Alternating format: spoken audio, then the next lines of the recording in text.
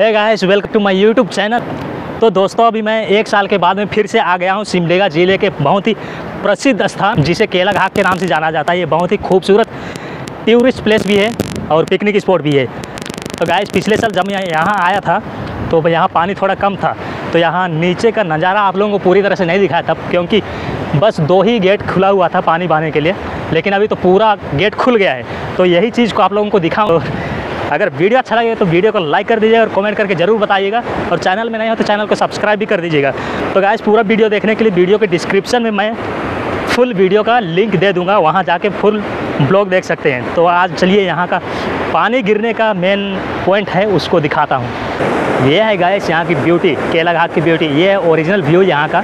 और पूरी तरह से पानी अभी नीचे गिर रहा है और यहाँ बहुत ही गहरा खाई है। पानी गिरने की वजह से यहाँ बहुत ही गहरा है दोस्तों। वाह आवाज़ तो सुनिए, कलकलाहट सुनिए पानी की।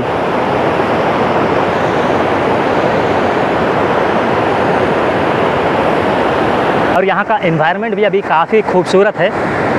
एकदम ग्रीनरी से भरा हुआ देख सकते हैं आप। कुछ लोग उधर नीचे आए हैं इन्जॉय कर रहे हैं, अपना टाइम पास कर रहे हैं दोस्तों के साथ में आके। और कुछ लोग अभी तक आते ही हैं, उधर कुछ लोग ऊपर भी हैं।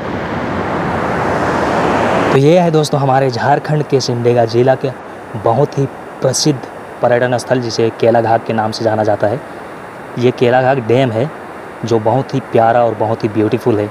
यहाँ बहुत से लोग पिकनिक मनाने भी आते हैं। आप भी कभी मौका मिलता है तो आ जाइए और यहाँ का नेचुरल ब्यूटी का आनंद लीजिए। और वीडियो अच्छा लगे तो लाइक कर देना।